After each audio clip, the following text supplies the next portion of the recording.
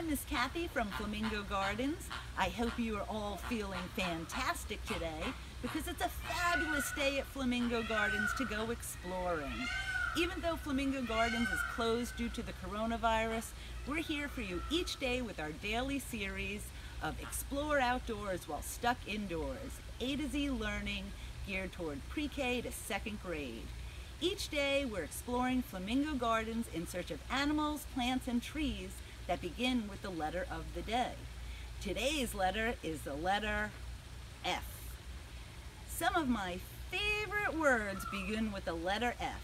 Family, friends, and flamingos. Flamingos have feathers, beautiful pink feathers, and a group of flamingos is called a flamboyance. Isn't that a fun word? Say it with me, flamboyance. Can everybody do their best flamingo pose? Do you know why flamingos stand on one leg? Let's go find out. Hey guys, welcome back. This is Laura Wyatt from Flamingo Gardens. Today we're going to talk about one of the most fabulous animals we have here. And of course, that's our flamingos. Flamingo Gardens is home to three different species of flamingos. We have the American flamingo, which are the darker coral colored. We have the greater African flamingo, and we also have one called the Chilean flamingo. There are actually six species of flamingos that live in this world. The other three are the Andean, James, and hello James, speaking of James, and also the lesser flamingo from Africa. Now flamingos are really cool birds. They have this hooked beak that helps them feed. What flamingos like to eat are crustaceans, um, small shrimp, mosquitoes, minnows, all kinds of things that we can find in the water. Now flamingos are pink because of the food that they eat. Since the food that they eat eats algae, the flamingos turn pink in color because of beta carotene, similar to something you'll find in carrots.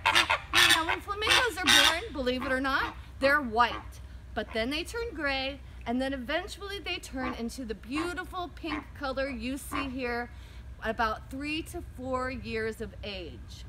Now the flamingo also has a very long neck and is often thought and genetically related to geese. If you notice James here,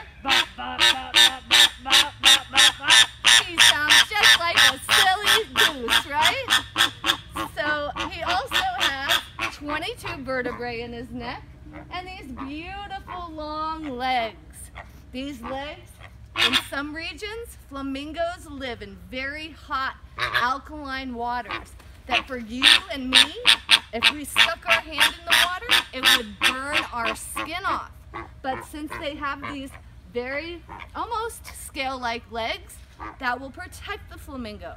Flamingos not only live in really hot environments, but they also live in really cold ones too. Flamingos are very diverse animals and live all over the world. Now the flamingo's legs, if you take a look, when we think of a bird, we think that they have their knees would be this part of them right here. But what it actually is, that is their ankle. That's why when you see a flamingo stand, its leg is actually going backwards. The reason why is because they do that to help balance themselves, to give rest to one leg or the other, and they also do it to regulate their body temperature. If a flamingo is cold, and it wants to put its foot up and get warm, it can bring it up to its body and heat its legs. Similar to like when we're sleeping in bed and we get hot, we want to put a leg under the covers or we want to stick a leg outside of the covers. Now flamingos also have webbed feet and baby flamingos when they're born can swim from the very very first day of birth. Flamingo babies are only born one to each parent. So every flamingo only has one baby. These babies all make individual noises. So the parents know when the tens of thousands of baby flamingos, they can actually distinguish what voice is their baby. Finally, we're going to take a look at the size difference of the flamingo. James here, he's a male, he's big and he's tall. Whereas Aruba over here is very short. James is a male, tall is male, short is female. So that's how we can tell who's the boy and who is the girl. F is for flower. The flower is a part of a plant or tree.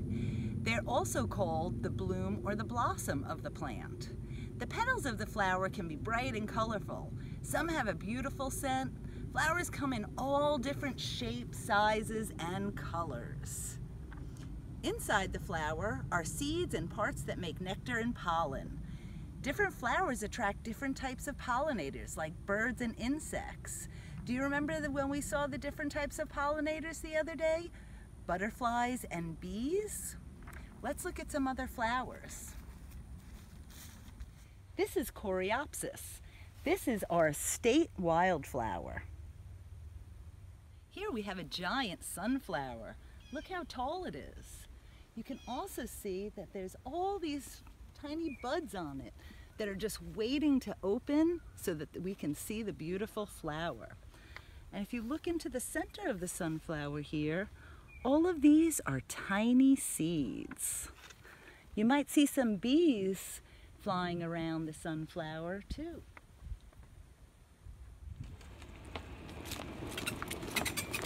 Let's go and find some other flowers around the gardens. Come on.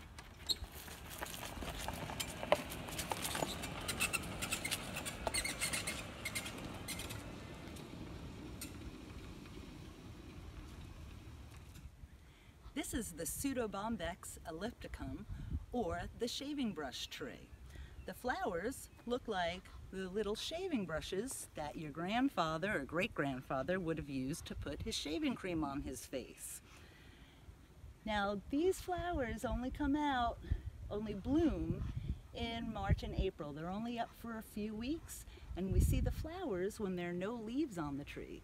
Did you notice that the tree has no leaves right now, just the beautiful pink flowers. Here's the flower of the chenille plant. It looks a lot different than the other flowers we've seen. It's fuzzy and red and kind of looks like a cattail.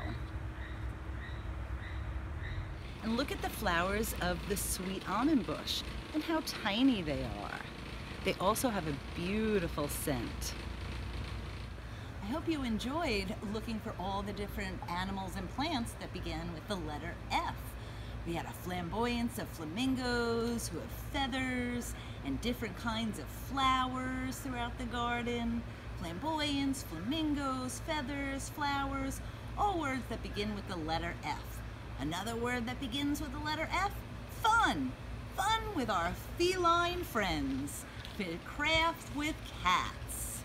Today, we are going to make a little flamingo bag. Ask your mom or dad or another adult who's with you to go to our website, flamingogardens.org, and click on Education. You can get the instructions and the template there. You're also going to need some glue, scissors, crayons, and a little bag. Now you might need to cut the top of the bag off a little bit so that your flamingos will fit on it perfectly. There's going to be two templates, a front and a back. So make sure you print up both of them. I printed mine up on pink paper, but you can use regular white paper and just color in your flamingos pink.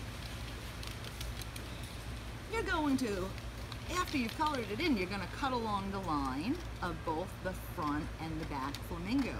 You're going to cut out the body and then also the head. Then take the head for the back flamingo and glue the face right on the head.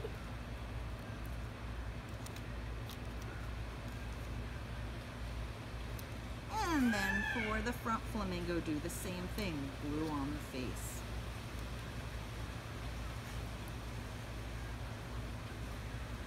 And you're going to take your bag and find out where the bottom is going to glue from the bottom up to the top your one flamingo for the front.